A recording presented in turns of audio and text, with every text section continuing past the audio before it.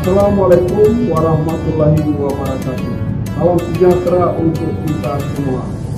Di hari yang fitri ini, saya, Ibu Kyotan, Kepala Hutan Rasa Pendidikan, dan seluruh jajaran mengucapkan Minal aidin wal faizin, mohon maaf lahir dan batin.